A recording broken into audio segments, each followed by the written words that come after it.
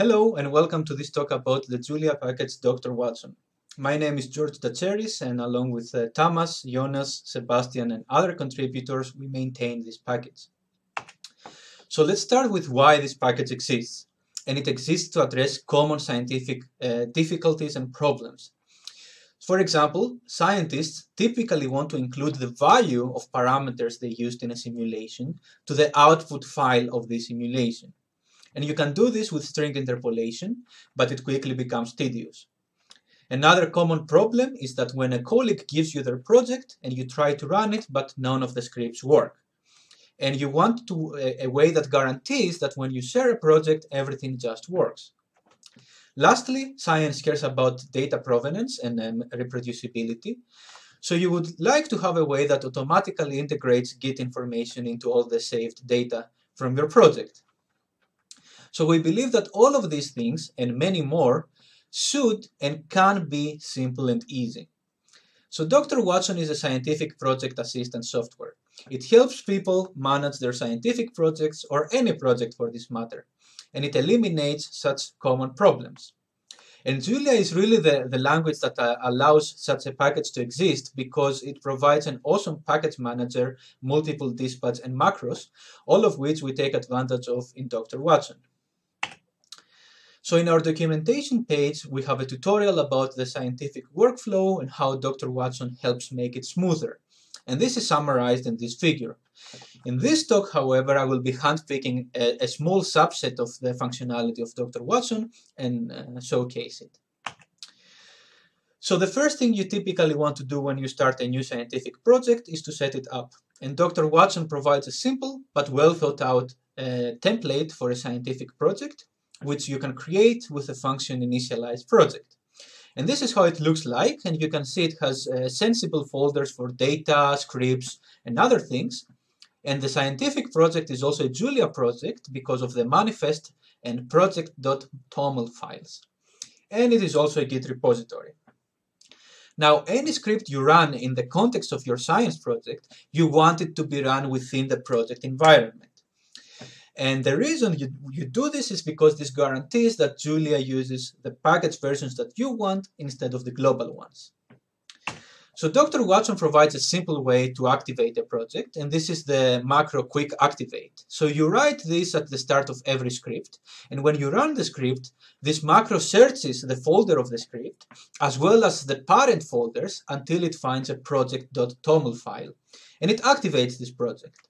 And if you give it a name as well, the macro also checks that the activated project matches the given name. Now, the second reason that you want your scripts to run within the project environment is the function project dir and the derivative functions like data dir that Dr. Watson provides. And what these functions do is that they always return the path to the folder or subfolders of the currently activated project which when used with uh, conjunction of uh, quick, quick activate is exactly the project that you want. So this establishes a, a, a local only framework for accessing file paths, which is also operating system independent. Uh, as I said in the introduction, you typically want to include parameter values into some kind of names. And you can do this with string interpolation, and then you use this name for the output files or for figure titles. And Dr. Watson provides the function save name that takes as an input any key-based uh, container, like a dictionary, and transforms it into a string that has a key equals value pairs. And it works for dictionaries or composite types or named tuples. And it is also smart in a way because it has some decisions about whether something should be output or not. For example, a vector of five random numbers by default is not included in the output string. And in addition, this function has really a, a ton of customization options for custom structs and how it should behave. Then we go into saving tools, which is a large part of Dr. Watson. And let's say that you have some data, which is a Julia dictionary and contains some results, and you are going to save this data. And you typically do this with a command save, with a, with a given name and the given data. So Dr. Watson provides the function safe save, which will never overwrite or delete files. So if there is already a file which has, which has the same name, the function will rename the existing file by adding here a, a counter, an incremented counter, and it will save your file uh, as the original name instead. Something a bit more advanced is the tag save functionality and macro, which works as follows. When you save something with this function, Dr. Watson will automatically add to the saved dictionary some Git-related uh, entries for reproducibility. So you see here, once I load the file I save with tag save, I have the field that is the git, commit, which is the current git commit, the script, which is the script that used this macro, an exact line of code that used this macro, and if my repository had uncommitted changes, the difference of the uncommitted changes would be shown in this field.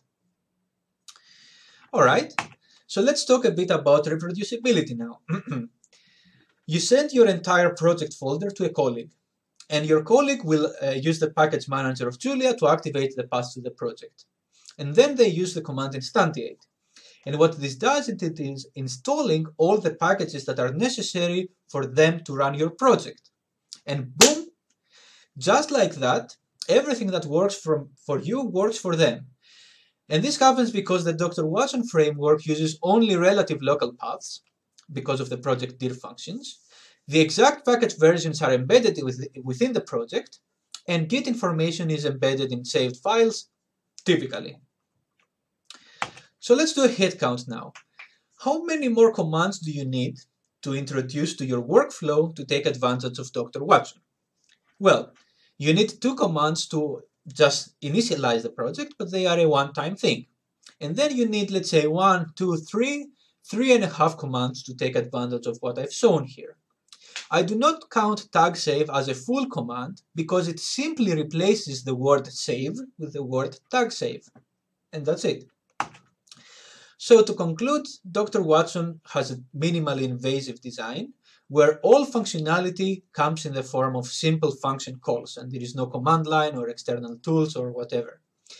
It establishes full reproducibility without a sweat, it is simple to learn and use, and keep in mind that in this talk I really only touched the tip of the iceberg of what you can do with Dr. Watson. So Julian scientists seem happy with it because we have 184 stars on GitHub. And yeah, try it out, remove the frustration of managing a project, and focus on the science. Thank you.